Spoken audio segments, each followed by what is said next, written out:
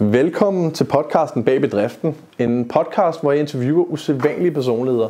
Og i dag, der har jeg selveste kendiskokken Umut med. Um, vi snakker egentlig ikke så meget om hans madkarriere, men mere de filosofiske aspekter i livet. Um, blandt andet hans psykedeliske terapi med svampe, og hvordan det har ændret ham som menneske. Og så deler jeg selvfølgelig også ud af mine egne erfaringer, fordi jeg har også selv været igennem min psykedelisk terapi. Jeg har fået så super god respons på de sidste videoer, um, så husk at like og subscribe. Og så skriv ned i kommentarfeltet, hvis der er nogen, I vil have, jeg skal øh, interviewe. Så finder jeg dem, og så interviewer jeg dem. Er du fra Fyn? Ja, jeg bor der i hvert fald. Jeg er på universitetet derinde. På hvad? På en uni. Ja. SDU. Jeg er fra Odense. Ja, det er du, er du ikke det? Jo, ja, Ja, Jeg er koloni her på Fyn. Ja, det ved jeg godt. Kæmpe, kæmpe koloni her. En kæmpe kollega. Lige indtil, lige indtil jeg var i Aalborg i weekenden og mødes med nogle landmænd. Så kan man godt finde ud af, at man har en kæmpe haveliv. Så, så siger jeg, det er, det er 12 hektar. Så siger jeg, hvor meget er det? Så, jeg, "Ja, det er sådan cirka 24 fodboldbaner. okay, goddag. Det er, en, det er en afdeling, han så laver noget kål i. Og så er der ret andre afdelinger. Sådan, Okay, okay, ja. skal jeg tage den? Smukt. Han kender kutumen, du. Skal jeg må klippe alle juleopskrifter? Nå, er det rigtigt? Har du så filmet det derhjemme, eller hvad? Øh, nej, jeg, jeg har sådan nogle filmdage, hvor jeg så lige øh, kører igen med ja, 8-10 film på en dag. ikke? Hold da kæft. Opskrifter. Til, til YouTube, eller? Ja, ja. Jeg, og jeg filmer altid selv og klipper alt selv. Jeg var den, jeg Så, det, øh, så, så jeg kan ligesom, når jeg, har, når jeg har tre dage, så kan jeg sige, okay, jeg filmer en dag, halvanden, og så har jeg i harddisken, så jeg kan klippe det. Er det gode, er Løbende i- det gode, gode penge, du Det synes jeg. Ja.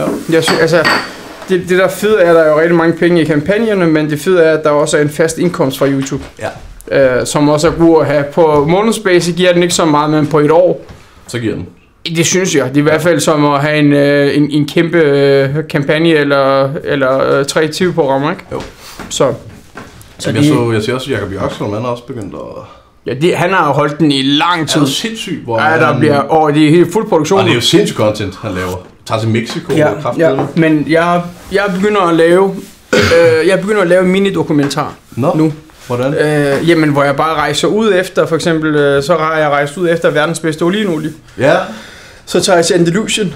ja det er fedt, det er fedt. og, og finder dem og hører, og så finder jeg en øh, og laver podcast med, hvor jeg så klipper alt ind i. Der sidder en ekspert. Hun er blandt de 10 i verden, som kan give, hvis du producerer et produkt, Mm.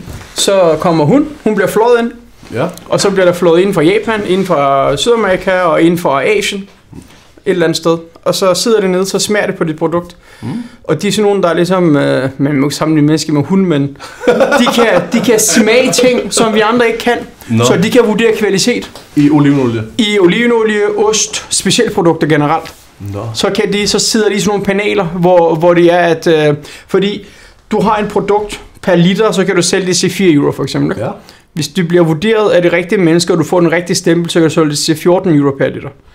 Det er den samme oliven, men det er kvaliteten, og du skal se, hvordan... Øh, altså, der er nogen, der har... Øh, Hvordan, fanden kan de, hvordan kan de smage forskel, for du kan...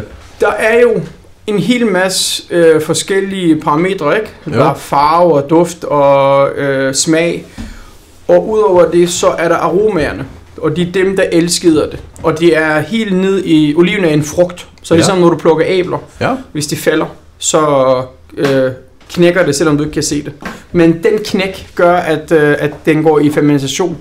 Og den fermentation, ligesom hvis du, hvis du slår på en æble, dagen Ja. efter, så er den mere underlig i smagen. Ja. Kontra hvis du lige har plukket og presset. Ja, simpelthen brun. Så præcis. Ja. Så det er den, det, er de mikronyancer. Så der, er- der, der var et sted, hvor han har en, øh, en pressecontainer. Så der er traktorer, der kører ud og henter oliven øjeblikkeligt og får den presset med det samme. Så var der en anden sted, der har regnet ud, hvor meget en oliven vejer, og Ja. hvor mange af de her oliven må ligge oven på hinanden, uden at det presser hinanden i... i øh, Så Altså, det er sådan sådan noget- helt ned til- fuldstændig, fuldstændig, detalje. helt, helt vildt. Nå. Altså, det, er, det er helt skørt. Så kommer vi ind til et sted, det er så dem, der har vundet en hel masse. Så siger, så siger hun så, der er 55.000 liter olivenolie i hver tank, og dem er der så måske 60 af, ikke? Ja. Så regner jeg lige ud, der er for 1,8 millioner kroners øh, olivenolie i hver tank. så det er ikke fordi, det er sådan nogle... Det er ikke fordi, det er sådan nogle... Øh, det er ikke en hyggeprojekt. Ej, det er, det er det er serious penge. business. Det er Ja. penge, penge, penge, penge, ikke? Men er det så til, til store restauranter og sådan noget? Det er til alle. Det er til eliten. Altså, det er til folk, der ved, hvad en rigtig olivenolie er. Rigtig olivenolie, det er ekstra jomfru olivenolie, den kvalitet, har dokumenteret, altså videnskabeligt bevist, at det er godt mod alt. Altså, så den, den, jeg køber ned i Føtex, skal bare fuck af. Den du køber ned i Føtex, der er nogen du godt kan, og så er der andre, som er et, øh, et, et blandingsprodukt, hvor man tager og indkapsler via en kemisk proces, så tager du og indkapsler fejlen i olien. Øh, ligesom, at, ligesom du har en flydende æg, Ja. så, som er dårlig, så dender du en skal til æggen kemisk, og så lægger du den op på hylden igen. Så kan du købe den, men i det øjeblik, du knækker ægget, det vil sige, i det øjeblik, du opvarmer den olivenolie, så kommer fejlen frem. Og det er derfor, man siger, at man ikke må stege i olivenolie. Du må gerne stege i olivenolie, du må bare ikke stege i dårlig olivenolie, fordi at, at den der migi, den, den forsvinder, og så lugter det. Mm. Og så, men det er jo, den har lugtet fra start af. Det er jo derfor, at man kan få det billigt. Det er sindssygt. Ja, det er, det er ret spændende, men du ved, det er Du har også sat dig meget ind i det, kan man Ja, ja, men, men jeg lagde også selv i det der processer jo. Ja. Og det synes jeg er sådan... Jeg var også sådan lidt, skal jeg lave lidt eller Jørsholm? Men du ved, det er jo hans koncept med at invitere andre mennesker ind og, og interviewe dem, ikke? Ja, ja, ja. Øh, og så var jeg sådan lidt... Jeg gad sgu godt. Også det der med at lave rejserne, hvor, Det er fedt. hvor de er, man fordyber sig i én ting ja, ad gangen, det er mega fedt. Du ved, tager til Sicilien, det skal jeg i februar, Ja. og så skal jeg øh, kigge på anchosproduktion. Ja, ja, ja. Og så øh, snakke med sådan nogle, altså du skal sige til de her mennesker, ikke? Det ligner ikke nogen, altså det ligner nogen, du kan aflevere dine børn til.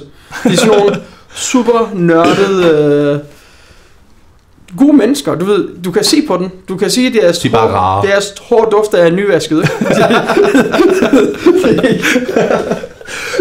Nå. Ja. Så, så du, har, du er godt i gang med at lave... Øh, Jeg har været i gang i tre år, tre men jeg har holdt nogle pauser ind imellem. Jamen, har, har du lavet video, hvor du har rejst ud? Ikke i rejse. Rejsevideoer er jeg først begyndt at lave nu Ja. i, her på det sidste, er det november? Sidste, sidste Så, så måned. du, du holder dig væk fra at lave restauranter nu, eller hvad? Jeg har ikke haft restauranter i et år. I det år, nej? Ja. Men så du, så du har ikke tænkt dig at lave ny? Nej, Nej. Ikke, ikke lige umiddelbart. Er der en årsag til det? Øh, Nej, altså jeg har jo lavet det i 10 år. Ja. Så der skal også ske noget nyt. Jo, det er rigtigt. Og så øh, rent øh, personligt og økonomisk, og hvad man ligger i det, Ja. kontra hvad der er udsigter, så er det, at det jeg laver, føler jeg er mere givende for mig. Både øh, personligt og økonomisk, og ja. også mere bæredygtigt. Øh, at, at jeg kan ligesom, der er ikke nogen madhis, altså, madhistorie, vil jeg aldrig nogensinde stoppe. Vi, vi, vi vil spise altid. Ja. Jeg var inde og se en musical, hvor den nye i, i landsbyen, eller i byen, han kommer ind i supermarkedet, og så siger hende, der sidder i supermarkedet, hun siger, jeg vidste, du ville komme. Så siger han, hvorfra? Så kigger hun og siger, jamen, alle skal jo have noget at spise. Hmm, men true. Ja, ja, men du ved, alle skal have noget med mad, så Ja. det, er jo, altså, det er jo også en meget bæredygtigt, ikke?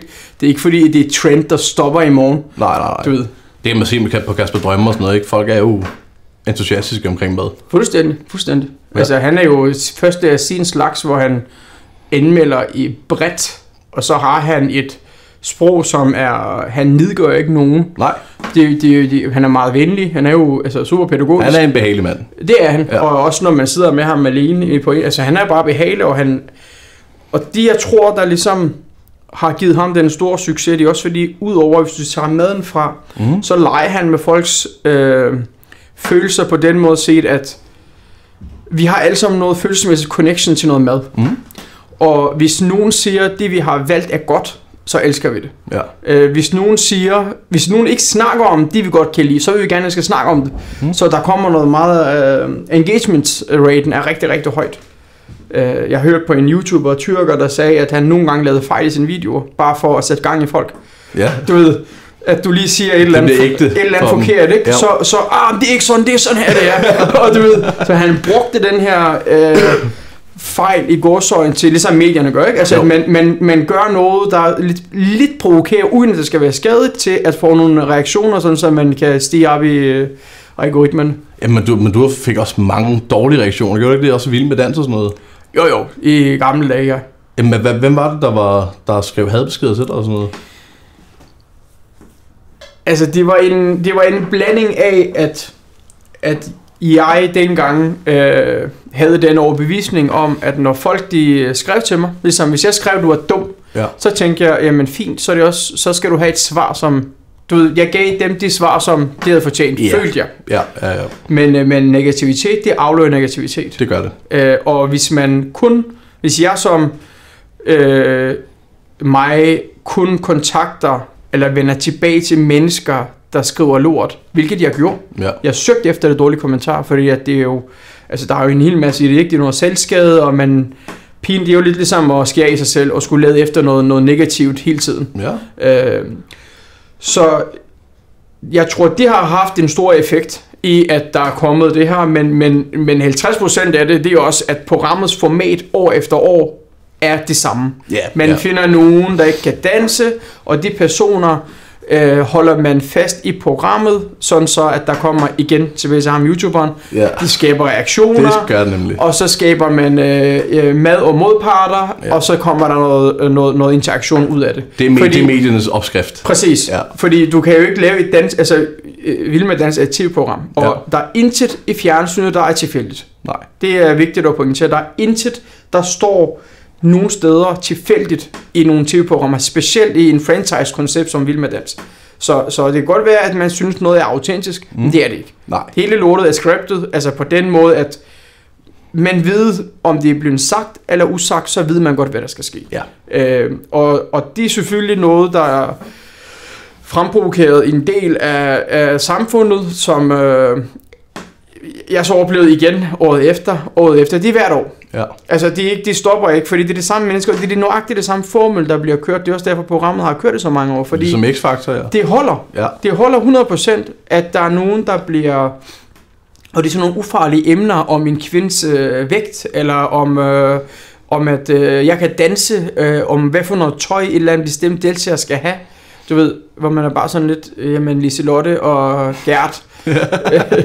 du ved, I, I tør ikke engang at skifte jeres rugbrød ud med den ene til den anden. Ja. Øh, og så blander jeg i, om, øh, om øh, en kvinde må danse i den ene kjole frem for den anden. Altså, Det Men- er skørt. men det er jo fordi, at man gør noget så folkelige, og jeg hader ordet folkelige, fordi at man har øh, fyldt ordet folkelige ud med øh, noget, der er dumt og dårligt, Ja. ja. føler jeg efterhånden. At, at det bliver sådan, det bliver sådan lige pludselig, så tror alle, at jeg kan lige sige noget her, Ja. fordi det må jeg lige gerne, og det må de også gerne. Men øh, det jeg er kommet frem til, det er, at man skal lade være med at svare den form for kommentar, fordi at det er min råd til alle. Ja. Hvis man, også hvis man er et øh, lille barn og lytter med, eller hvis man er et eller andet, så skal man lade være med at svare på det negative. Fordi hvis man svarer dem, så får det en kvittering. Hvis man blokerer de personer, får det en kvittering. Hvis du øh, åbner deres beskeder, får de en kvittering. Ja.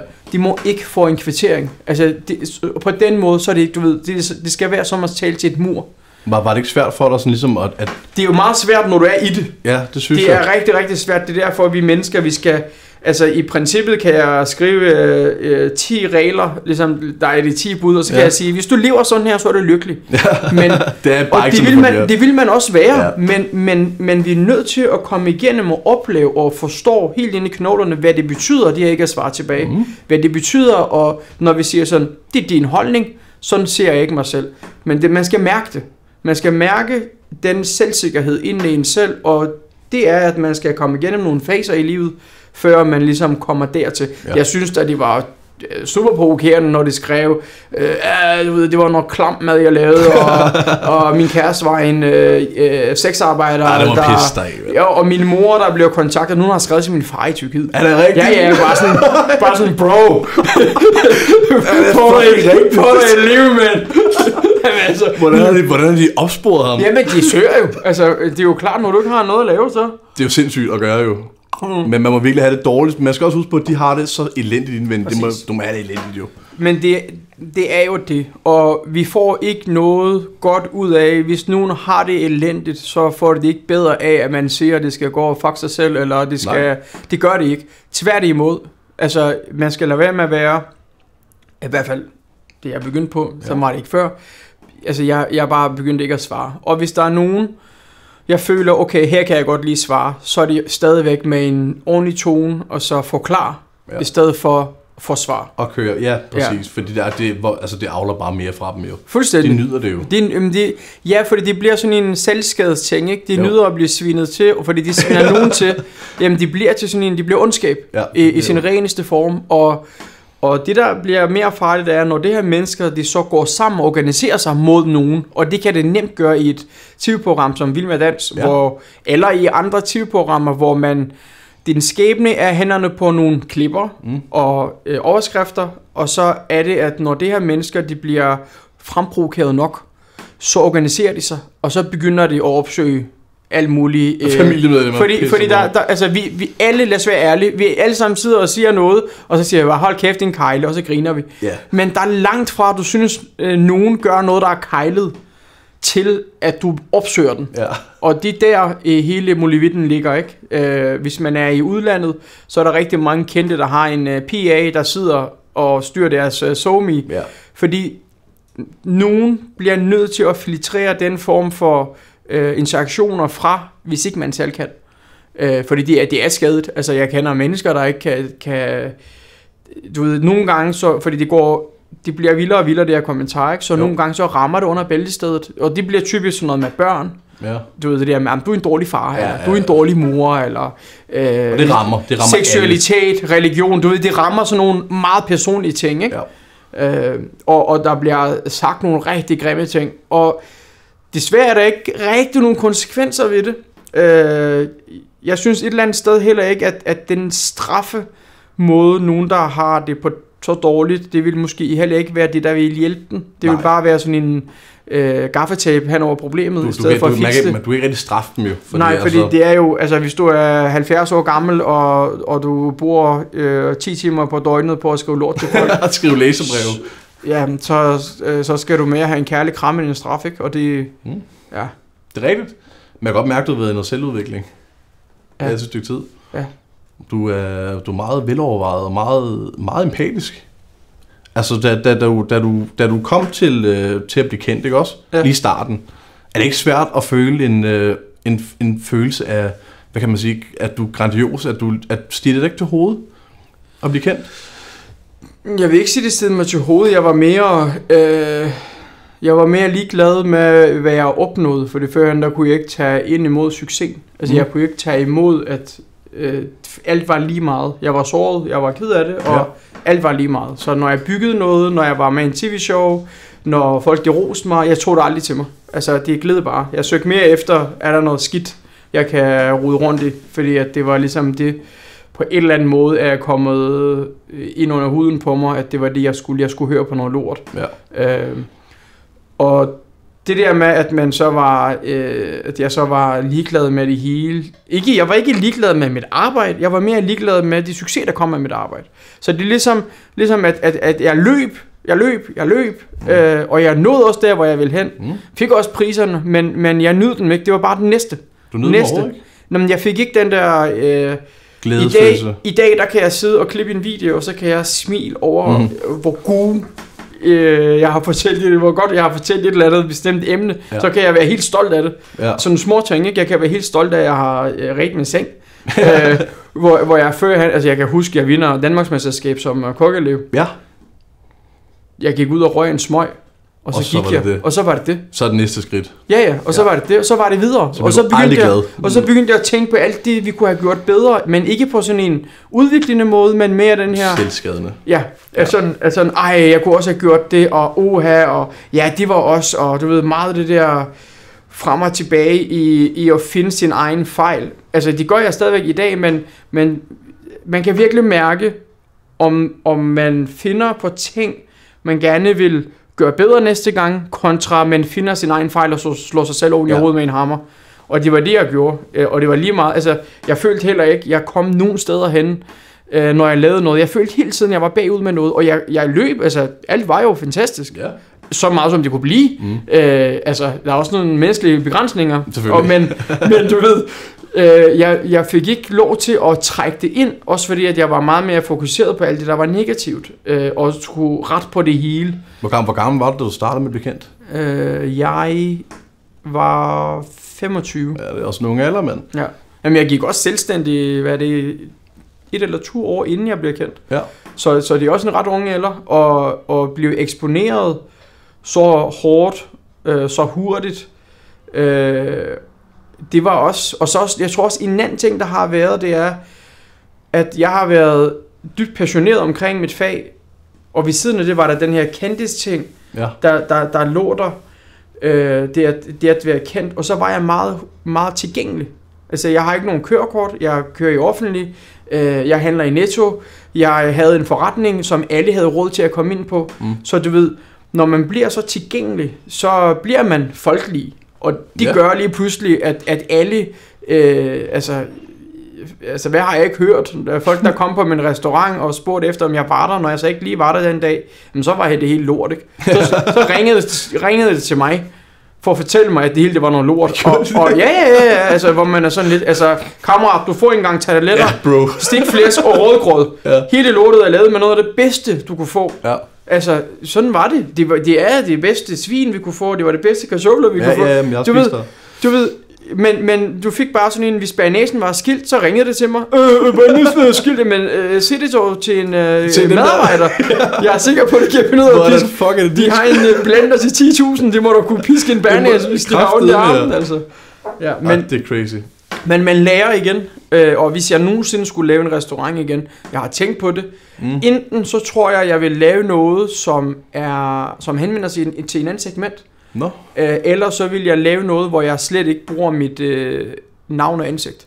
Altså hvor jeg simpelthen ligesom alle andre mennesker åbner en restaurant, og så bare lader den køre. ja. Fordi det, der, der er bagsider i alt. Der er bagsider i, at hvis du er ansigtet ud til, til brandet, og du er kendt, så er der også rigtig mange andre. Altså, når du laver underskud, så kommer det i forsiderne. Når du Ja, laver ja. overskud, er der ikke nogen, der snakker om det. Med mindre du laver meget stort overskud. Ja, man ser sådan som Big Chef for eksempel Ja. ja. på Grillin. Han gør Ja. det kraftigt med. Ja. Han gør det godt. Jeg var der i weekenden. Ja. Ja. Sindssygt godt. Sindssyg mad, mand. Men du ved, hvis du, hvis du laver... Øh, hvis du laver det mindste fejltrin, mm. så er der også nogle journalister, der er interesseret Med i det samme. Med det samme. Ja, det Om du har fået en sur smiley, hvordan kan det være? Jamen, det kan du da læse i kontrolrapporten. det kan du da fucking læse. Men det er forside jo. Ja, ja, fuldstændig. Ja. Og, og des, desværre er vi jo også rigtig gode til at bare sige, altså læse overskrifter og sige, nå okay, det er klamt at spise derhen. nu er der jo det er kommet, rigtigt. jeg ved ikke om du ved det, men der er kommet en ny smiley-ordning. Nu er smileyerne så store herude foran døren. ja, ja. Og al teksten er forsvundet. Så er der en lille QR-kode. Så er der en stor sur En smiley. stor, jamen hvis det er, at du får sur smiley, ja. så får du bare en sur smiley, og så er det den, der hænger der, ikke? Jeg så det i går på en restaurant, og så tænkte jeg bare sådan her, hvis jeg havde fået en sur smiley, mm. og det sur smiley, fordi sur smiley får man ikke kun af klam mad. Nej. Man kan også få sur smiley, fordi at der mangler dokumentation for egenkontrols nedskrivning. Mm. Altså, du kan glemme et stykke papir. Der kan være datablad, du mangler. Det er nok ikke en, altså du glemte papir. Ja, ja, det kan være. Det kommer an på, hvem der kontrollerer dig, men det kan være. Nå. Og der er restauranter, der har kørt sag mod Fødevarestyrelsen. Det er også mennesker, der kommer og tjekker dig. Altså, de kan også lave fejl. Øhm, det kan også godt være, at du kommer og åbner din butik, og så finder du ud af, at din køleskab er i stykker, kommer det fra Fødevarestyrelsen. Så kan du få en sur smiley. Nå okay, det er fandme... Og, og, det er, og det er noget røv. Altså det her med, at vi bliver ved med at lave indhold, vi bliver ved med at lave information om til enten små øh, øh, øh, stjerner, eller en lille smiley, eller du ved, hvem er helt uddybelsen? Ja. Restaurantanmeldelser, ikke? Jamen jeg har givet det øh, 8 ud ud af 10 pastaer. Okay, så, så fucking Ole Trøsø, som har brugt hele sit liv på at anmelde restauranter, øh, som skriver fire sider om en restaurant, han er bare sådan en idiot, der ikke ved noget, eller hvad? Men det var fordi, vi bliver jo bliver nødt til at...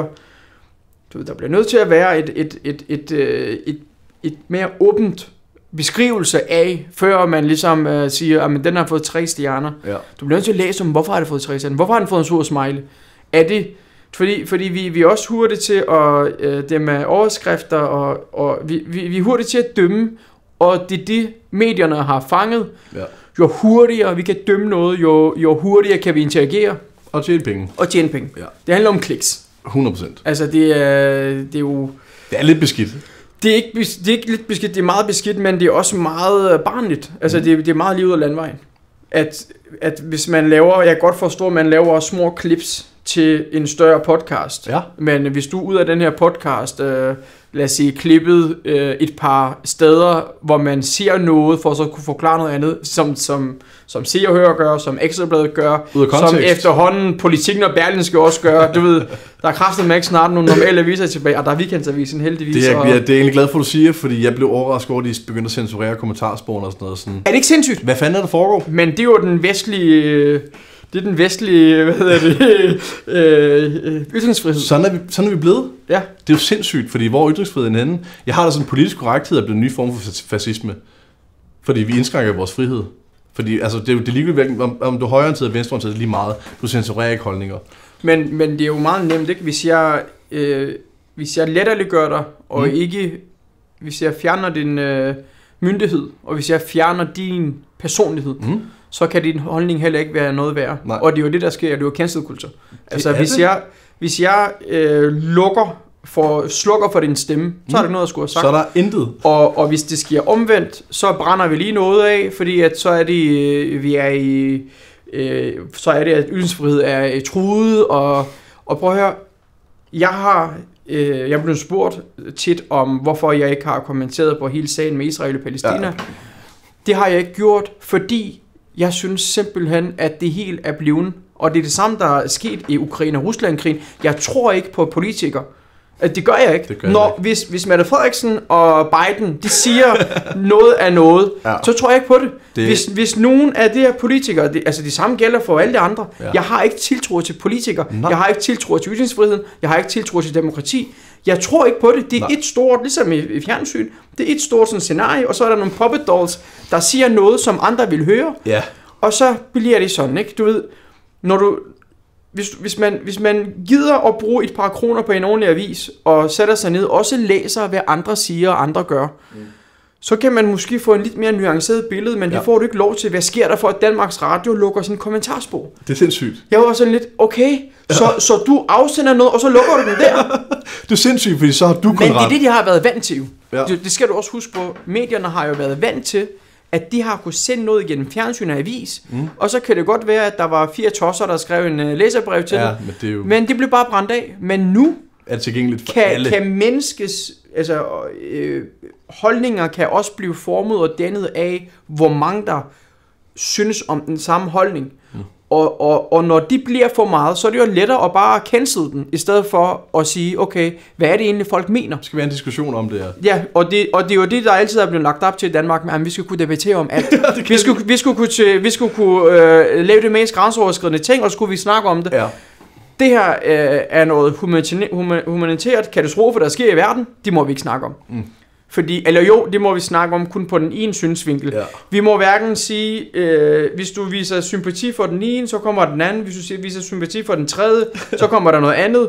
Ja. Øh, så er der nogle øh, tyrker i Nordkina, der bliver slagtet. Dem snakker vi ikke om. Mm-hmm. Øh, afrikanere i Afrika, i forskellige lande. Det snakker vi slet ikke om, fordi det er langt væk os. Det er sorte, ikke? Dem, øh, Ressourcer, de Præcis, sorte. det skal bare dø, ikke? Og så, øh, du ved, det er vi sådan set lidt ligeglade med. Desværre, ja. Um, altså, det er, jo, det, er jo- det, er jo, det er jo blevet til sådan en medierne styr. Hvis man vågner lidt op, så kan du se, at der bliver lavet en højre og venstre, der bliver lavet en Israel-Palæstina, Mhm. mm-hmm. der bliver lavet en corona-antivaxer, hele tiden, splittelse, hele tiden.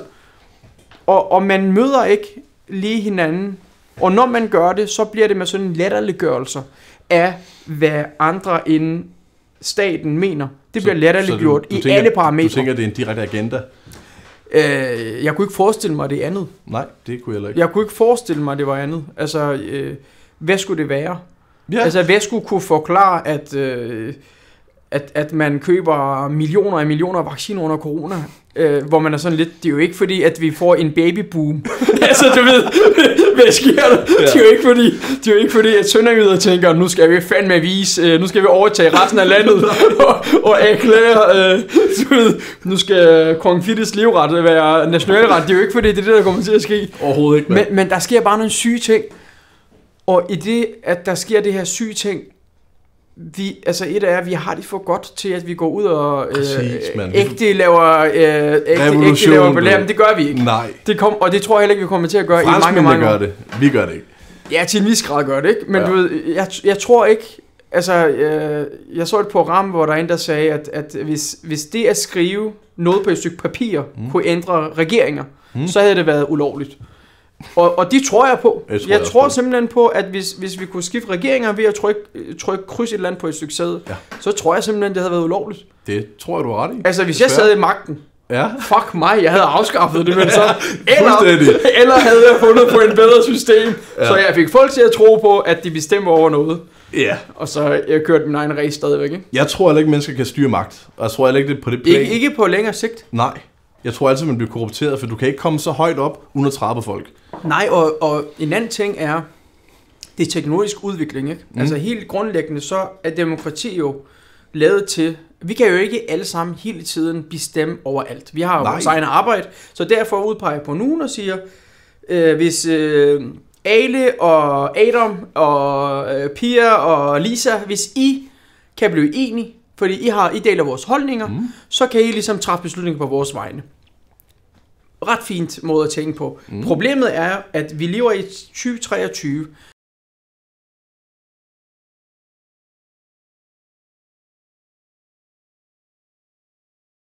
i mange af tingene, men til en vis grad kan vi da være med involveret i styring. Det er ikke, vi skal ikke længere ind i en rådhus for at skulle diskutere og debattere. Nej. For eksempel i Odense, Ja, jeg kommer fra, det har lavet en letbane. ja. Hvis nogen havde lagt fremlagt til odenseaner og sagt, det her, det er letbanen, det er det, det kommer til at koste, og øh, sådan, her, sådan her skal byen se ud, når den er færdig. Mm. Og alternativet er, at vi indsætter to buslinjer, to busser i den her linje ekstra, mm. og så øh, kan vi jo så spare x antal milliarder. Mm. Hvis det var blevet stemt, så havde man aldrig nogensinde kunne lave letbanen. Nej, det er rigtigt. På den anden side set, så er det også det her med, skal masserne få lov til at bestemme, eller skal eliten få lov til at bestemme? Når jeg siger eliten, så tænker jeg ikke bare på de onde, rige kapitalister. Nej. Jeg tænker også på mennesker, der har en høj uddannelse inden for noget, der ved noget om infrastruktur, der ved noget om, det har nogle forudsigelser. Ja. Øh, altså, det, det, jeg synes bare at grundlæggende, vi burde snart over finde på noget, der er smartere. Vi burde på en eller anden måde, og jeg ved godt, at vi alle skal være lige, men altså Ja. den her eksempel med, at hvis vi er 20 mand i et skib, og der er to kaptajner, skal vi lade dem sejle, som ved noget om sejling, eller skal vi alle sammen prøve at sejle? Ja. Når vi ikke fucking aner noget som helst om at sejle, ikke? Du ved, der er mange Men, dilemmaer. men det er rigtigt, det var sådan, man gjorde det gamle Grækenland jo. Der var det demokrati, men det var demokrati med øh, de lærte. Ja, Og altså, men man kan jo selvfølgelig også sige, er det så demokrati? det er det ikke. Nej. Men, men, men der må, altså igen, jeg kan ikke sige, at man afskaffer demokrati og gør det her, fordi jeg ved ikke, hvad svaret skal være, men, men jeg håber, der, der er nogen derude, der bruger deres tanker og kræfter på at finde ud af, hvad kan vi gøre? Hvordan kan vi forme det her, sådan så, at måske kan man lave nogle deleløsninger, hvor, hvor noget teknisk fagligt, for eksempel, at vi har et eller andet, der bliver fucking kirkeminister, dagen efter er personen er sundhedsminister, mm. bagefter bliver de skovminister, hvor man er sådan lidt, Hvad ved du om det, bro? hvad ved du om det? men det er rigtigt, mand. Du ved, måske lave nogle krav. Måske, Ja. sige, hvis, måske sige, hvis du skal være sundhedsminister, så skal du komme fra sundhedssektoren. Ja. Du ved, og, og så ligesom vi giver dobbeltbøder til taxachauffører, ikke? hvorfor giver vi ikke dobbeltstraf til politikere, der fucker op? Du ved, men, men, men det er jo, altså jeg tror ikke, det kommer til at ske, men der må simpelthen være nogen derude, der kunne gå ind og sige, okay, I har det for godt her, lad os lige lave lidt om på det. Ja. Du ved, nu har befolkningen lidt lidt, nu har I fucket nok op, nu, nu laver vi lige, uden at man laver revolution, uden at man brænder tingene ned, Ja. uden at man ødelægger ting, men bare siger, nu laver vi lige, vi lever i en retssamfund. Men vi lige siger til DR, du kan ikke lukke for en kommentarspor. Ja, ja, tak. Det er imod, det, du er statsstøttet. Ja, mand. Jeg betaler til dig, du betaler... Mand. Jeg betaler ikke til... Jo, det gør jeg. Ja, Hvad hedder det? Jeg drikker rigtig meget kaffe, når jeg er i DR-byen. Det er gratis. Hvad hedder det? Det kan jeg også lige gøre her. ja, det er godt op. Men det er, jeg synes, det, jeg synes, det... Åh, oh, for helvede, Nu går bro. det helt galt. Men det er kraftedet med, man. Jeg, jeg, jeg tænker også, sådan, hvordan kan et statsstøttet medie tillade sig at censurere Ja. ja. os, som, som, altså vi har også en- noget at skulle have sagt. Bare lige skub med et ekstra stykke dernede af. Så det er kraftedet med, du. Men jeg, jeg synes, det er skørt. Og man kan jo se, at danskerne bliver syre og syre. Altså, der kommer flere og flere psykiske lidelser. Mm. Hvor- Hvordan tror, hvorfor tror du det?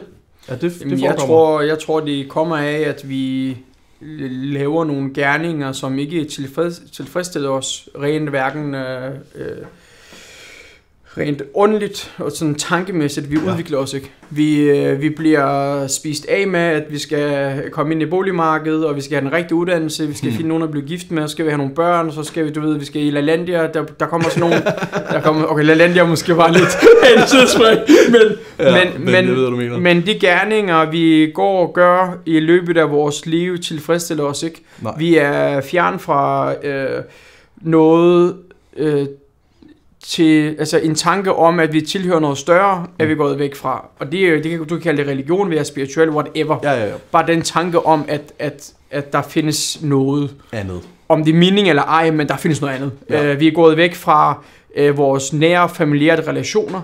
Vi er gået væk fra øh, i det sociale sammenhæng altså dengang, da jeg gik meget ud øh, og drak, og det, det Ja. handler meget om alkohol, det handler om sex, stoffer, det handler om øh, overfladiske relationer, så man sidder ikke nede, altså hvis jeg kan huske, da vi var små, Mm. vi mødtes med en kammerat eller en, øh, en ven, så kunne man lege sammen i flere timer, Ja. og man kunne forsvinde i det, det gør du ikke længere. Hvorfor kan vi ikke det længere? Øh, fordi den her øh, dybde, det kræver noget andet. Altså at kunne komme dybt ind i nogen, det kræver øh, noget tiltro, det, kræver troværdighed hos hinanden.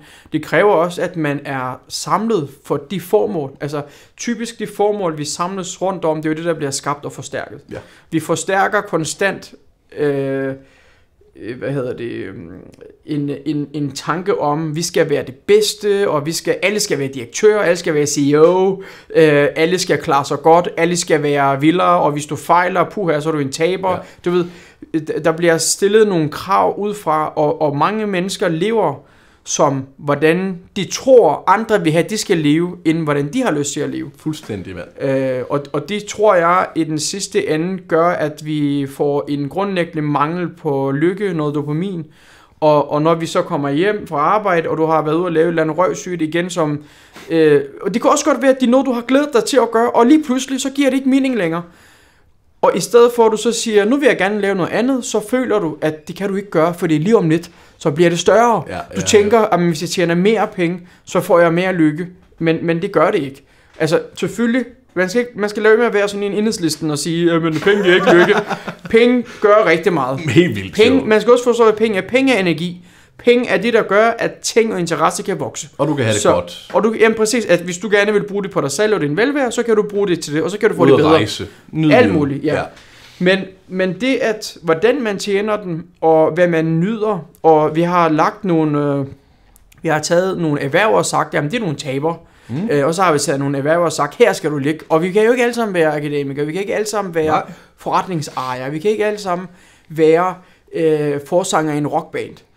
Og det er ligesom, det, det, gør sådan, at jeg kan, jeg kan huske dengang, altså når jeg kom hjem, så skulle jeg have noget mad. Jeg skulle fucking spise noget mad, indtil jeg mærkede, at jeg havde fået nok mm. øh, dopamin op i hjernen. Ved, jeg åd og åd og drak og drak og spiste og spiste og Ja. bollede og bollede. Ja. For, nej, men det du, du, du, det jo lidt ligesom, det er ligesom hvis du kastrerer et dyr, og den ikke ved, hvad den skal, men det, den mangler, det er der passer. Jeg ved, du mener. Og hvor den, hvor den løber rundt, og den løber og krasser og springer, men, men du ved ikke, hvad fanden det er, du mangler. Nej, Men, it, men hvis de, du mangler, er i sin rå form kærlighed og forståelse, mm. og ikke penge og en tur til Dubai, eller en, øh, et eller andet øh, diamantring, eller et eller andet Chanel-taske, Det er eller... et tomrum herinde, der Ja, præcis. Eller sidde på Café Victor med gamle mand, eller gamle mand, der skal finde... Ved, når det er den tomrum, den kan ikke fyldes ud med andet. Nej.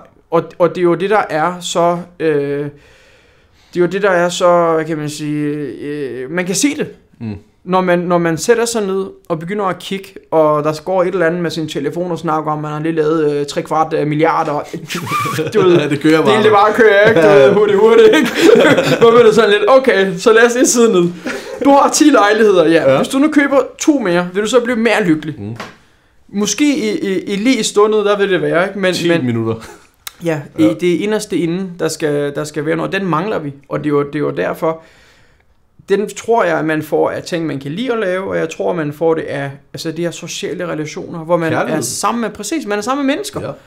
hvor det er, at man hygger sig, hvor det er, at man har noget, et, et formål med, hvorfor man ses med hinanden. Øh, og det kan være, øh, folk spørger mig, jeg har ikke drukket i halvandet år, Nej, og det spørger mig, siger, "Jamen, hvordan socialiserer du med dine venner, når du ikke er alkohol? lav noget normalt. Så siger jeg, så siger jeg kan du huske, da du var barn? Ja. Så siger jeg, hvad lavede du med dine venner? Så siger vi legede. Men jeg Ja. leger med dem.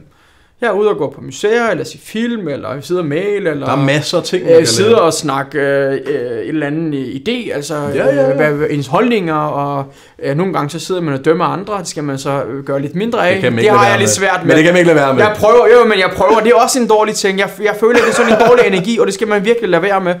Ja. Øh, men du ved, der er mange ting, man kan gøre, som ikke er, du ved, tage ud og fisk, øh, cykle i en tur, øh, drikke en kop kaffe, du ved, der, der, og specielt i København. Der er Og stadig fest, selvom du ikke drikker. Jeg, nu, jeg har selv haft et misbrug, øh, siden jeg var 14 år gammel, ikke?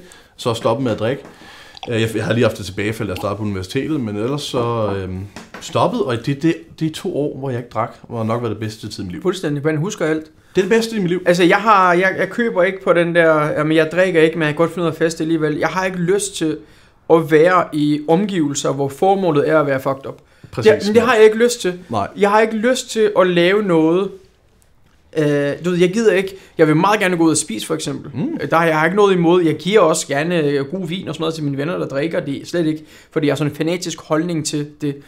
Men hvis jeg mærker, at et fest er sket, og det ved jeg. Øh, Jeg har også et par år på Ja, banen ja, med ja, ja. fester. Hvis jeg ved, at formålet er, at vi skal bare være fucked up, så kan det være, at jeg kommer og siger hej alle sammen, bla bla bla, og så smutter jeg. Fordi jeg kan mærke den der negative, tung energi i rummet. Mm. Jeg kan mærke, at folk er der, de søger.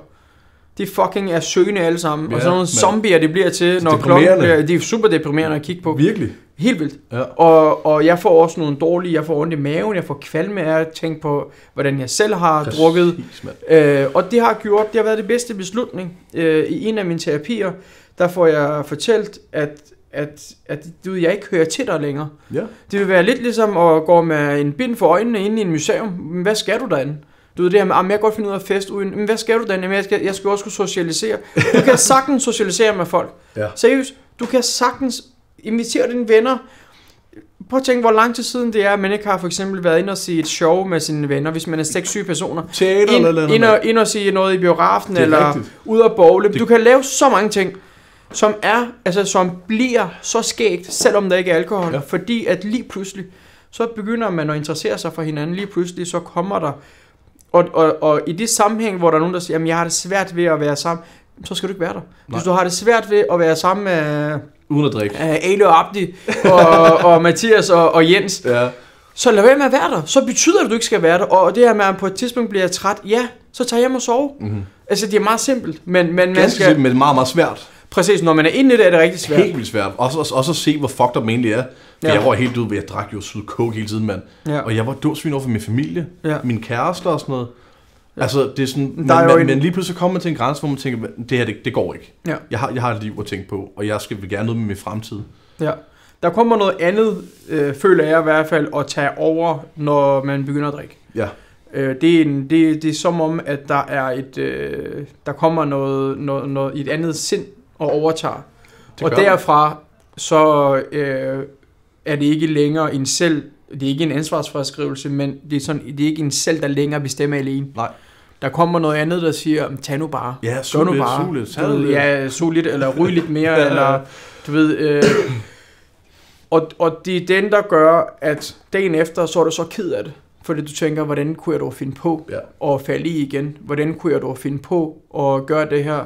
Hvordan kunne jeg dog finde på at skippe en fødselsdag? Eller, Præcis, og på et eller andet mand. tidspunkt, så, så bliver det til normalen. Så er du ikke engang længere, øh, jo du er rigtig ked af det, men du, du lægger låg på ved Ja. at drikke noget mere, Ja. fordi at det er lettere, de går, tiden går hurtigere. Præcis. Det er som Du om, glemmer det lidt. præcis, men, men det gør man ikke, man opbygger bare et ordentligt lort i bagagen, Helt vildt. som man så skal Helt arbejde med vildt. efter, og det er bare, det er bare tusind gange lettere, altså nogle gange det her med at give slip og sige, prøv at høre, jeg drikker ikke mere. Mm. Og så, altså, i stedet for det her, om jeg holder lige en måneds pause. Ja, bullshit. Bullshit, bare Ja, sig, men prøv at, bare sig, jeg drikker ikke mere, punktum. Yes. Og så når folk spørger, hvorfor drikker du ikke, bare siger bare, jeg har ikke lyst. Ja, jeg Står gider ikke med- fucking drikke, mand. Men, men det er vigtigt at stå med oprejst pand og sige, jeg, har- altså, man skal lade være med at skræmme sig over, at man ikke drikker. Ja. Man skal ikke skræmme sig over, at man drikker. Men det er man skal tabu. bare sige, præcis. Altså, jeg kan jo huske til at starte med, at jeg sagde til folk, at jeg var på medicin, og sagde til dem, ah, men du ved, øh,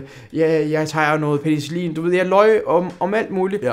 Hvor jeg var sådan på et tidspunkt, det skulle da fucking ikke mig, der skal sidde Nej, fuck og dem. sige, det og skylder så, ikke nogen nu er jeg bare sådan, jeg drikker ikke. Og sådan, øh, kunne du tænke dig at være med i den her vinsmagning? Ellers sagt, jeg drikker ikke alkohol. Øh, er du klar over, hvad for noget vin det er?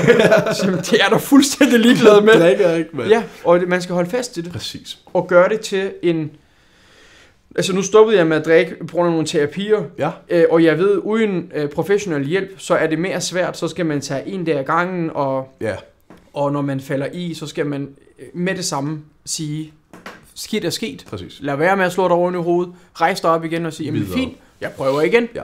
Og fordi det, det er heller ikke sådan, at jeg har øh, øh, den ene morgen vågnet op og tænkt, nu vil jeg ikke drikke mere, og så tager jeg lige til en terapi, og så er jeg stoppet. Jeg har da også haft masser af tilbagefald, hvor, hvor man prøvede første gang, der var det i halvt år, syv måneder, Ja. hvor jeg så tænkte, åh, men jeg kan da godt lige stille og prøve. roligt. Ja. Lige prøve. Og det der, det gik op for mig, nej, Ja, det går ikke. overhovedet ikke. Men så er det et glas, så bliver det til tre flasker. Ja, og, og det er... Altså, det er det, man skal, man skal tænke over, ikke? Det der med, når vi siger, jeg gør det med mode, så er det typisk noget lort, vi ikke burde at gøre.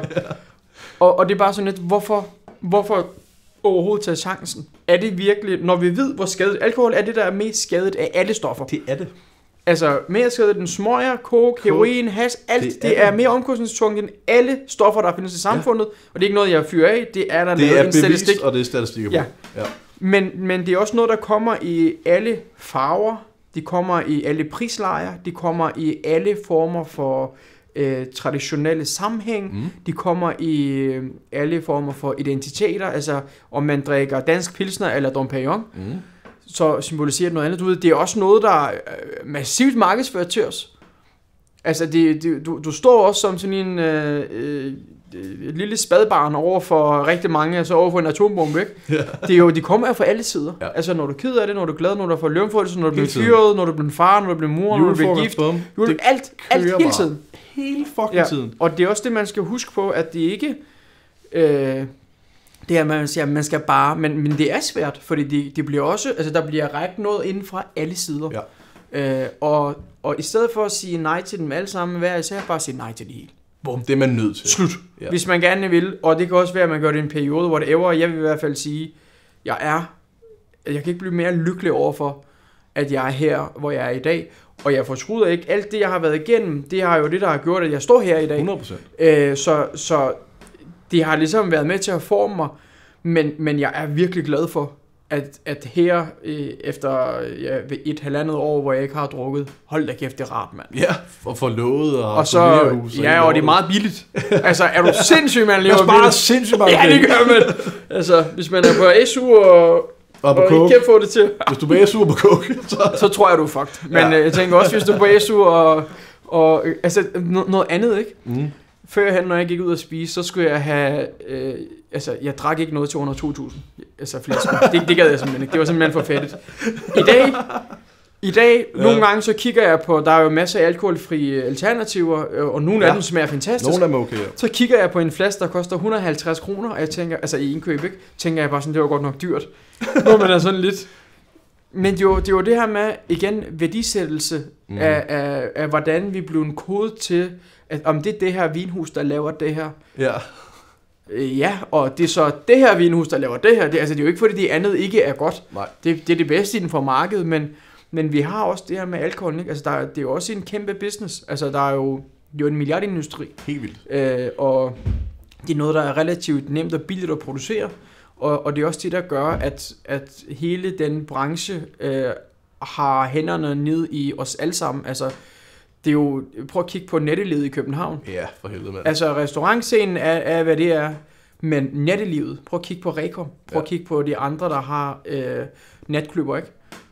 Det er jo, altså, de tjener på dit fucking sår. De tjener Ja, det penge gør. på, at du har det skidt. Det er ligesom gambling. Det er beskidt. Fuldstændig, Det er det fuldstændig, virkelig. fuldstændig. Altså man skal, man skal ikke undervurdere, in, altså økonomien i industrien er jo voldsom, Ja. fordi omkostningerne er så lave i, i, i produktion. Du smider to unge bartender ind, som er skadet hjemmefra, som ikke har noget liv. Og så, jo jo, men altså, øh, og så kommer der en eller anden ejer og snakker om, at de har lavet et millionresultat. Ja, på hvad? På det at kigge. Ja. Men altså igen, der er karma, ikke? Der er karma, det skal man også huske på. Det er jo ikke fordi, at, øh, at nogen, der laver noget ondskab, bliver, altså slipper for det. Og Nej. vi kan ikke se, hvordan mennesker er inde i, hvad det er, der sker. Der er inde- selvfølgelig, inde- findes selvfølgelig psykopater, altså, Ja, ja, som, ja, som ja. simpelthen er bare Ja. onde, ikke? Altså, jeg har fået, jeg har fået et nært forhold til Jørgen Jynke, efter vi, vi snakker jo godt sammen. og det er det mest mærkelige venskab, jeg nogensinde har fået. Jeg skulle ud og spise med ham mere den 16, ikke? Men det er jo meget rart. Ah, hvor hyggeligt. Nej, men altså, jeg sad og snakkede, jeg sad og snakkede med min podcast, ikke? Og nej, men jeg er sgu ligeglad med makrel. det, er- det er super. Han har slået mand ihjel. Ja. Og det freaker mig lidt ud. Og det freaker mig lidt ud, han er sådan bedstefaragtig. Han er sådan, hej Kenneth, Men, men, men folk bliver jo også ældre, Ja, og folk, rigtigt. folk ændrer sig også deres mening, og jeg tror også, sådan nogle store traumatiske ting, der sker i ens liv, Mm. gør også, at... Og det er jo, det jo derfor, så kigger I på et eller andet, altså, du ved, så er folk bare sådan, er, den her person ikke helt fucked? Så er man sådan, Ja. mm, egentlig ikke. Nej. Måske arbejder du med personen for 20 år siden, men der er altså Der gået er sådan 20 noget bag. år. Der er noget bag. Der sker noget, du ved, der sker en for, og det, det er jo uundgåeligt, at der sker noget, om det er positivt eller negativt, så sker der et eller andet Jeg med tror, mennesker, ikke? alle folk ændrer sig. Men selvfølgelig gør du det. det er jo, altså, du ændrer dig fra dag til dag. Alle dine celler ændrer sig, din krop, din, øh, alt ændrer sig jo. Der er desværre nogen, der bliver ved med at leve i deres 18-årige liv. Ja, og det er jo synd for dem. Altså, jeg håber da inderligt, at, at man på et eller andet tidspunkt bliver færdig med at være ked af det, så Mm. man kan, altså mange øh, gør det, den her slags ting, fordi at det inderste inde er super ked af det. At man prøver på at gøre sig selv glad igen, Ja. om det er med penge eller Sex øh, eller sex eller er. whatever, ikke? Og jeg håber og ønsker, at de ligesom kan, altså den, jeg, kan da, jeg kan da tydeligt huske, da jeg første gang mærker, at jeg var ked af det, og den smerte, der var i mig, det var simpelthen noget af det mest ubehagelige, men også det Helt rareste vildt, ja. følelse, fordi at, bare, at det letter, når du mærker den, og du græder det ud, og du kan bare mærke, fuck, det gør ondt det her, ikke? Men, men bagefter, så er du også bare lettet. Du kan trække vejret igen. Så det føltes som om, at jeg hele mit liv har øh, ligget i en seng, og sådan øh, ligesom i, i, i gips, og jeg for første gang havde rejst mig op og trådt ud i verden. Altså det var sådan, det føltes, da, det, 100%. da den lettelse, den kom, ikke? Øh, så jeg håber, jeg ønsker dig, at... Øh, altså det er det, man skal huske på. Der er jo ikke nogen mennesker, selvom de kan være rimelig ondskabsfuld, men der er ikke nogen mennesker i den inderste ende, har den form for, du ved, de er alle sammen søgende efter noget. Vi er alle sammen søger noget. Vi Det er er alle sammen, øh, vi alle sammen leder efter, hvorfor er vi her? Øh, hvad skal der ske? Og så er der de dagligdags problemer, så er der relationer, så er der familie, så, så vi er jo fyldt op i vores hoved. Øh, og det gør, at der bliver mindre og mindre plads til at gøre de ting, der måske vil få os på det rette plads. Mm. Altså med rent, øh, rent hjernen? Spirituelt, og ja. Ja, og øh, bare gøre ting, vi kan lide. Altså, det behøver ikke at være, at man sidder og mediterer i 24 timer døgnet rundt. Nej, nej, Det kan også bare være, at man gør ting, man kan lide. Ja. Øh, gør noget godt. Det hjælper Men er, rigtig. er, er, du egentlig artist? Øh, jeg er ikke, jeg tror ikke på noget religioner. Nej. Øh, jeg tror mere, jeg er deist. Altså, at jeg tror på, at der er noget. Med agnostiker, ja. Ja. Er der et eller andet, øh, ved, altså universet er stort, et eller andet må der fuck være. Ja, selvfølgelig er det det. Det kan jo ikke være, det kan jo ikke være anderledes. Hvad, hvad, er hvad er din tanke om døden? Hvad tror du? Altså, jeg tror på, at vi... Øh, jeg tror ikke på, at vi dør. Nej. Jeg tror, vi skifter imellem steder. Og vi har... Altså, det her med, at sjælen er gammel, ikke? Ja. Øh, jeg har jo været til nogle terapier, hvor jeg har øh, fået forklaret, hvem jeg var, og hvad jeg var, og hvor jeg skulle hen, og hvor jeg har været Med eller uden psilocybin? øh, med, med øh, svampe. Ja. Øh, Jeg har selv, ja. og, det, og efter det, så er jeg sådan... Og man kan sige det ene eller det andet, om, øh, om det, ah, men det var bare stoffer. Øh, Det er det ikke. Når du er i det, så giver alt mening, mand. Ja, lige Det er præcis. sindssygt. Øh, så, så jeg tror ikke på religioner, som der er på jorden i dag, men jeg tror på, at vi øh, har været her i mm, uendelig tid, og vi kommer til at være her i uendelig tid. Mm. Jeg fik forklaret, hvad uendelighed var i min terapi. altså, det var noget af det mest... Ja, og det var, og, og, og jeg, kan godt, jeg kan godt huske det, hvor, hvor de sagde sådan, ved du hvad uendelighed er? Så Ja. siger jeg nej. Og så øh, skulle jeg forestille mig at holde på en stolpe i en parkerings sådan plakalder. Ja. Og så sagde det, så forestil dig, at øh, alle andre stolpe er væk. Mm. Så nu er der kun top og, luft, øh, top og bund. Ja. Og så sagde det, så forestil dig, at top og bund også er væk. Så sagde jeg ja, og stod der med stolpen. Så sagde det, okay, nu er stolpen også væk. Så siger jeg, så falder jeg. Så sagde det, ja, de følelsen af den der følelse af kildenhed Ja. og sådan. Så det er følelsen af uenighed. ja. Øh, du ved, man får jo forklaret alt muligt. Men det, det, det, det er den smukkeste rejse. Jeg har også selv gjort en psykoterapeut med svampe, ikke? Og Ja. jeg tænkte, hvad, hvad fanden er det foregår? Ja.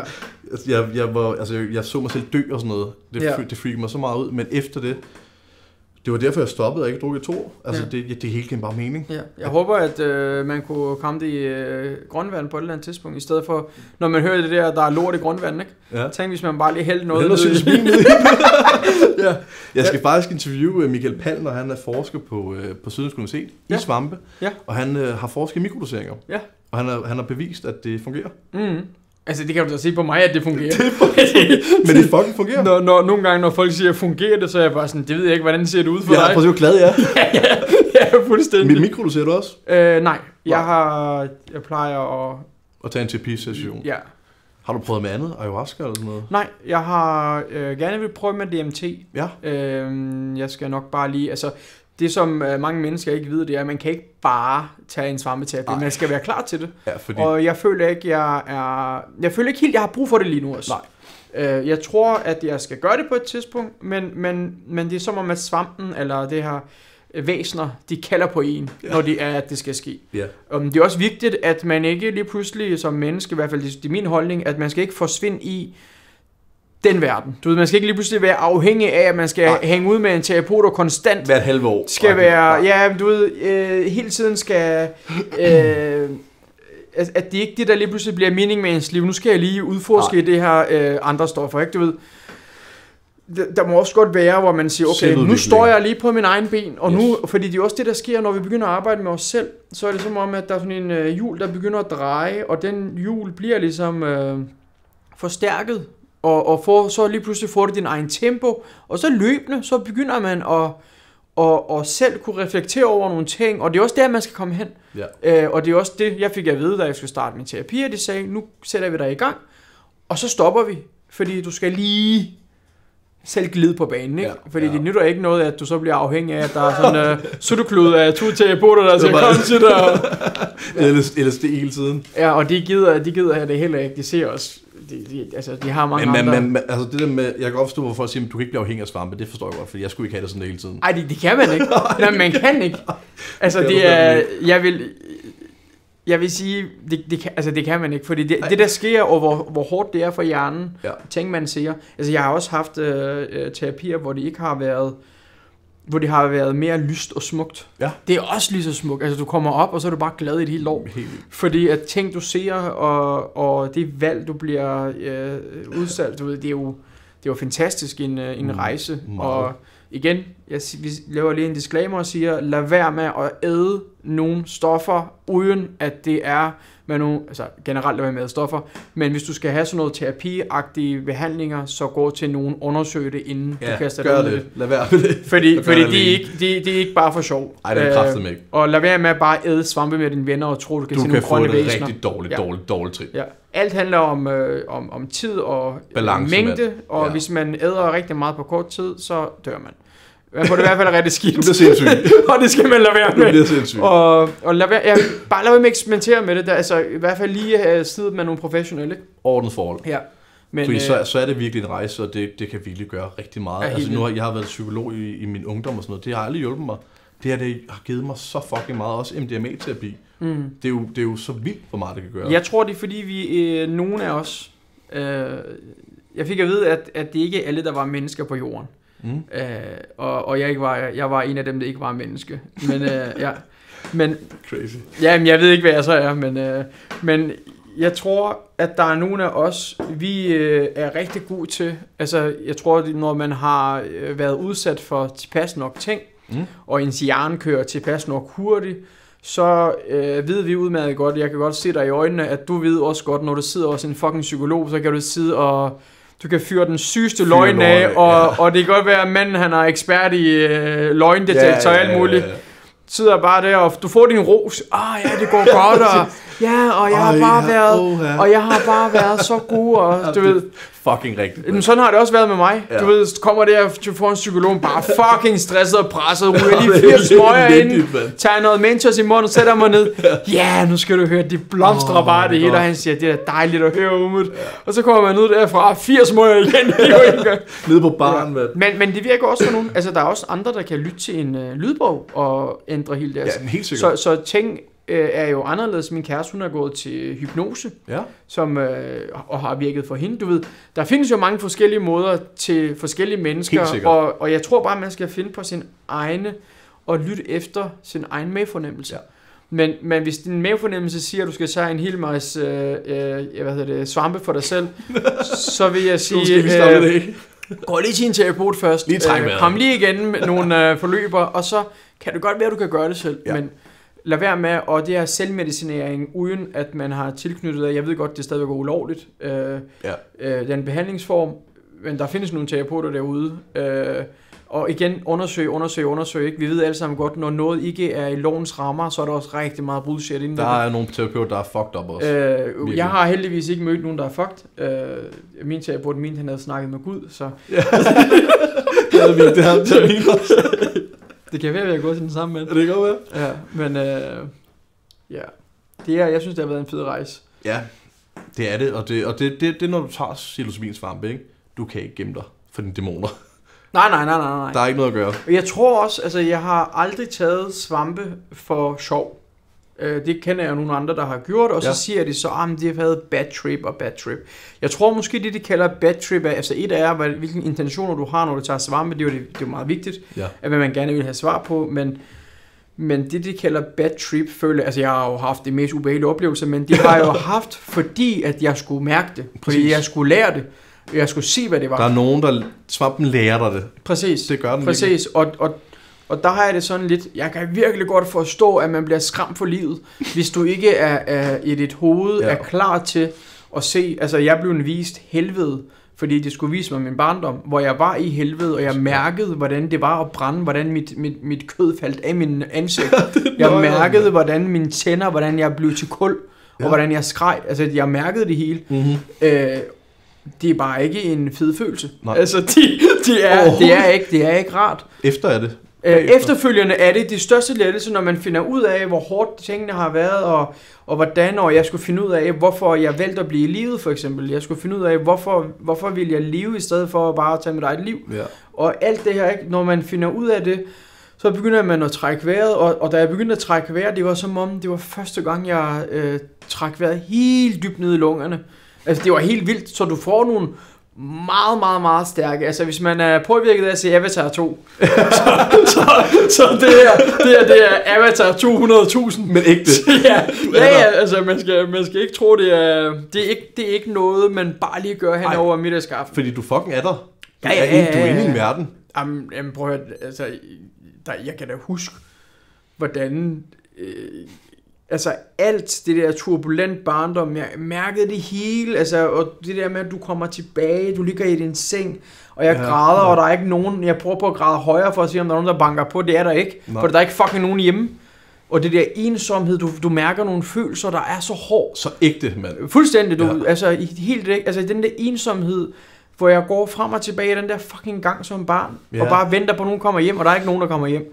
Du ved, alt det, det er jo ikke, det er ikke noget, vi, kan, vi husker på, fordi det er så hårdt for os, at altså, det, hjernen på et eller andet måde, fordi vi skal overleve, så bliver der lagt låg på, øh, og det er det, der ligger og prikker for at komme ud, sådan så man ligesom lige kan sige, Sådan var okay, det. ej, og så bare sige til sig selv, fuck, jeg er ked af det. Hvordan er du ked af det? Jeg er bare ked af det. Læg dig ned og fucking sove. Du ved, hvis du er ked af det, får lov til at være ked af det. Og det er også det, jeg finder ud af i min... Øh, altså, det jeg ligesom søger i de 3-4 år, hvor jeg, jeg kommer ud af balance og begynder at drikke rigtig meget, det er ikke selve festen, det er mere det der efterfølgende, hvor jeg simpelthen ligger og er ked af det. Det gør ondt. Rigtigt. Altså den der ondt, jeg, jeg skal mærke det der, at det gør ondt. Ja.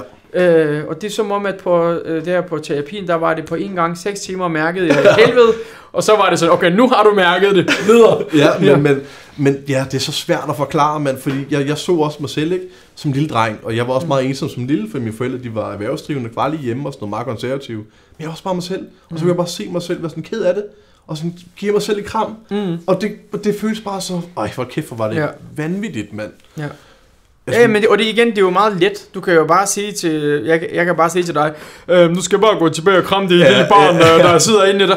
Men det, det er ikke, det, man skal være der, man skal forstå det. Det er det samme, jeg kan også sige til dig, ikke ryge, det er usundt. Ja, det kan man nemt sige. Ja, ja, men, men det, man skal, man, og det er derfor, det er hver persons egen rejse. Det er Ja. hvert persons eget liv, eget skæbne. Om det er meditation, eller hvad fanden det er. Ja, ja, ja, ja. Du finder din egen vej. ja. Nå, jeg er lidt overrasket over, at du tager svampe, faktisk. Hvad? Jeg er lidt overrasket over, at du tog svampe. Om jeg tager svampe? At du havde taget det til, i terapi. Ja, ja. Ja. Det eneste, jeg mangler, det er at lave svampe eller creme. Altså. Det er også sjovt. Kasper Christens, han havde også taget, taget Mm. det samme, ikke? Mm. Jokeren har lige taget det samme. Mm. Ham har jeg også snakket med. Og det er sådan, det, det virker virkelig. Og især på misbrug og sådan Prøv noget. at kigge på yogeren, ikke? Jeg havde ham som gæst på en restaurant, Ja, og han, han så forfærdelig ud. ja. Øh, prøv at se ham nu. Når Helt opblomstret og glad. Fuldstændig. Og, og går op i spiritualitet og bæredygtighed og Nej, sådan men du noget. kan se på, at du kan se ham i øjnene, at han er i liv. Det Ja. var han ikke før, han var død. Han var fucking død. En zombie, ikke? Og det, og det, er, jo, det er jo det, man skal huske på. Han er 100% blevet øh, dømt af 3.000 trilliarder mennesker. Det Ja. gør vi da også, når han kommer på restauranten. Ja. Men det her med, at alt kan ændre sig. Alle mennesker kan ændre sig. Og, og på et eller andet tidspunkt, selvom man siger det modsatte, selvom man siger, jeg fejler ikke noget, jeg har det bare fedt. Mm. Fuck, hvor er det bare fedt at være, hvor er det bare fedt at være Dubai, ikke? Det er det føles bare så pisse godt. Lidt ja. coke der. Ja, men, men der kommer et eller andet tidspunkt, forhåbentlig, det Ja. ønsker jeg for alle mennesker, at de vågner op, i, og de bliver til, altså de finder det, de søger et eller andet sted, fordi Ja. vi, vi søger hver især nogle forskellige ting, og det er, at jeg håber, at folk, men, at mennesker også connecter til deres følelser, og begynder at kunne, lidt ligesom når du øh, begynder at øh, drikke vin, så kan, du, kan man ikke helt forstå, hvad det, den her vin den dufter af. Mm. Fordi man skal kunne lave tilkoblinger, ikke? Det samme gælder med følelser. Hvordan føles det at være ensom? Hvordan føles det at skyld og skamfølelse? Hvordan føles glad inde i kroppen? Hvordan føles det at være efterladt? Hvordan føles det, hvis vi er ked af det?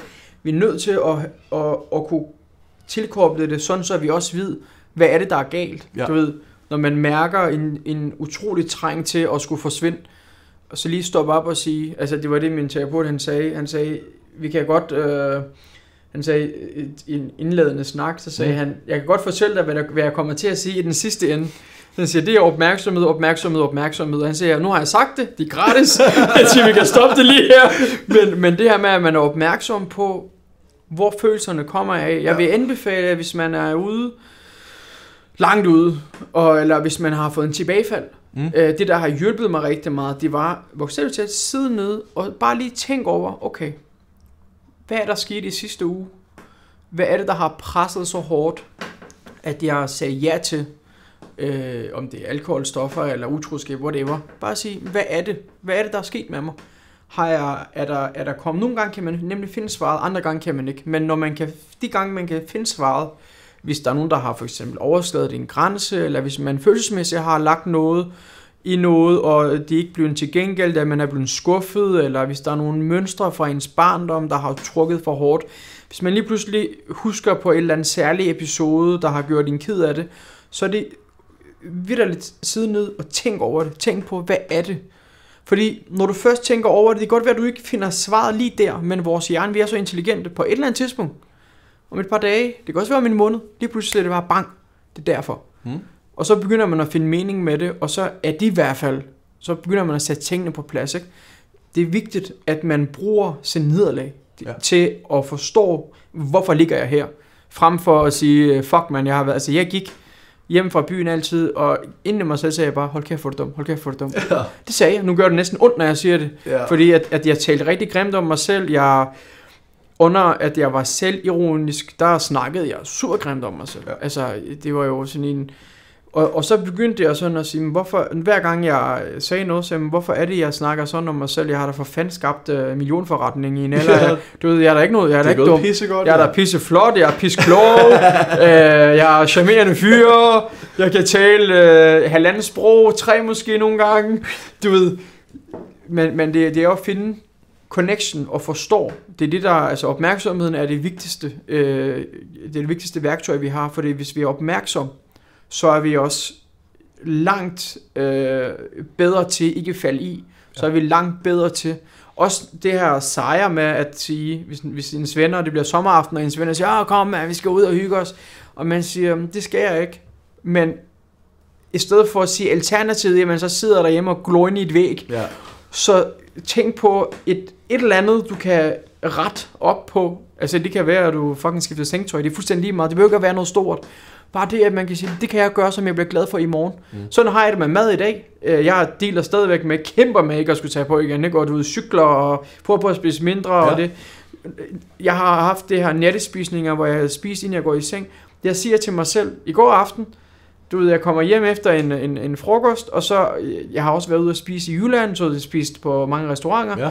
Så jeg tænkte sådan, okay, jeg skal lige falde ned igen. Så jeg siger til mig selv, jeg skal ikke spise nu, i stedet for, så kan jeg klippe en video, færdig, drikke en kop te, og så siger jeg, i morgen, når jeg vågner, så bliver jeg rigtig glad for det. Bare lige minde sig selv om det, være Ja. opmærksom på det. Vær For- bevidst om sig selv. Præcis, altså Ja. være den forældre, øh, du vil have haft måske over for dig selv, og sige, Præcis. Nu gør du lige sådan her, sådan her, sådan her. Altså det her med at styre dit menneske, ikke? Styre det her menneske, du har. Elsk dig selv. Ja, Behandle dig selv, som du vil ja behandle for din bedste ven. Ja, ja. Eller du vil behandle din kæreste, for Ja. eksempel. Ikke? Ja. Og det er det, man, det er det, man ikke har gjort. Det har jeg ikke selv gjort. Nej, Og det begynder man at lære, og det er en Ja. evig proces. ja. Og det bliver bedre og bedre og bedre. Altså, hvor lang tid efter, da du, da du stoppede med at drikke, ikke? Mm. Så var, var det ikke hårdt? Og sådan ligesom kunne mærke, åh oh, nej, nu kan jeg mærke mig selv. Da jeg stoppede med at drikke, der stoppede jeg også med at ryge den samme dag. Ja. Jeg fik fortalt, at, øh, hvad alkohol var, og så fik jeg fortalt, at smøger det var lavet til mennesker, og, og sådan nogen som mig øh, ikke burde at gøre den slags, og de gjorde bare, at jeg stoppede. Mm. Mm. Altså fra dag til dag. Jeg røg i 18 år. Da jeg var færdig med at ryge, der havde jeg ikke sådan, der var 100 pakker smøger i mit hjem. Ja. Øh, og jeg har altid sagt til mig selv, at jeg ikke øh, røg så mange smøger. Det, der var svært i det første stykke tid, det var ikke, at jeg havde rygtræng eller druktræng, Mm. men det var øh, motorik, hvad hedder det, mu- hvad hedder det, muskelhukommelse. Du ved, når man for eksempel tager et tog, så jeg ved ikke hvorfor, når jeg hopper af, så prøver man på at lade efter en smøg. Okay, ja, jeg ved, hvad Du ved, øh, Ja. rent følelsesmæssigt med, med alkoholen, det første, jeg føler ægte i de første par måneder, der sker rigtig meget. Fordi lige pludselig, din krop begynder at regenerere, Mm. Din, øh, din blodår kører på rigtig øh, Ja. cyklus, Hjernen, den din begynder- hjerne begynder at køre, du healer, altså du bliver som sådan en vampyr, når det sker i dig selv. Du ser Du, godt ud. du healer med det samme, dit ansigt ser godt ud, dine Ja. øjne skinner, øh, og, og selvfølgelig i, i sammen med alt det psykiske, undskyld, fysiske forandringer og forbedringer, så kommer der også den psykiske, og det er helt vildt, altså det er ligesom at sidde på oven på en raket. Din hjerne, den bliver bare, altså førhen, jeg kunne have det svært ved at svare en mail, øh, det kunne tage mig to uger, for jeg kunne vende tilbage på en mail, jeg var så stresset, og Ja. havde det virkelig ikke godt. Øh, I dag, altså jeg kan lukke øh, seks kampagner på en uge, fordi, fordi jeg har mange timer på døgnet. Overskud, ja, ja, ja. Fuldstændig. Jeg vågner op klokken 4 om natten, begynder at arbejde, så der er en Både, lør, middagslur. både lørdag, fredag og søndag. Ja, ja, der er, Altså- ikke noget, der er ikke nogen spilletid, der er ikke nogen, og, og jeg slapper også af, når jeg slapper af. Ja. Altså, når, når jeg siger, fordi jeg ved, når jeg har arbejdet, så siger jeg, okay, klokken er 18. Det er med, at øh, det er vigtigt for mig, at jeg er hjemme, når det bliver aften. Altså, det er også noget, jeg har givet mig selv, og sådan sagt, okay, hvad tager det fra mig, hvis jeg skal drive en restaurant? Jamen, det er min familie. Jeg kommer ikke til at sige dem til aftensmaden, jeg kommer ikke til at have mine rutiner med dem. Så jeg bare, det skal jeg ikke have. Jeg skal have min familie, jeg skal sidde med min kæreste, spise aftensmad, og så skal jeg snakke med hende, hygge med hende, mm. måske lige lukke en opgave, eller mail, eller whatever, du ved. Det er jo, det er jo vigtigt. Og nogle gange ser vi content, der bliver forarvet over uh, svindler i Danmark. Ja, ja. Men, og vi, vi stoppede med at se luksusfælden. ja lad, det skal man lade være med. Ja, jeg er færdig med. Jeg synes, jeg synes de giver dårlige energier. Man men, bliver øh, fordømmende og sådan noget også, og Hvad siger du? man bliver sådan lidt, godt, det ikke er mig-agtigt. Ja, og det skal man virkelig lade være med. Selvom det, det Ja. er meget fristende, så er det ikke Lidt det der... synd, det er lidt synd for dem også. Ja, det giver i hvert fald ikke noget lykke i den sidste ende. Altså igen, man prøver på at blive bedre og bedre, ikke? Men øh, jeg tror heller ikke på, at vi stopper nogensinde i vores udvikling. Altså, vi bliver også vid. ja. Fordi jeg tror, jeg tror der er en, ligesom, det mening, der er med, at vi er her på jorden, det er jo at komme igennem nogle faser, føler jeg, tror jeg. Øh, og så skal vi undervejs møde nogle andre sjæle og, og gøre noget sammen med dem, ikke? Og være i en community en eller anden art. Øh, så, så ja, jeg synes, det er en dejlig tid at bare, Bare leve. bare leve præcis, og ikke Ja. så meget andet. Ja. Bare leve, cykle en tur, og så øh, spise en hotdog, hvis det er det, man. Ja, bare en fucking En gang imellem spise quinoa, og finde ud af, at det også smager godt. Du ved. Ja, men altså med det vil jeg sige, du er virkelig en empatisk mand, og det har virkelig været en dejlig Tak samtale. Meget filosofisk samtale. Ja, Det var sgu rart det var meget hyggeligt. at høre, hvordan, øh, hvordan du har det herinde. Det synes jeg fandme er dejligt.